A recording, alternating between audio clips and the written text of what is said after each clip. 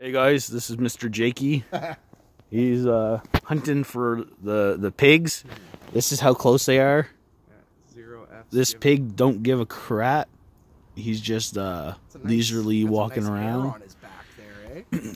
Haven't seen no tusks on the guy yet Yeah, there, but tusks, but we'll probably- see. They they're probably there somewhere.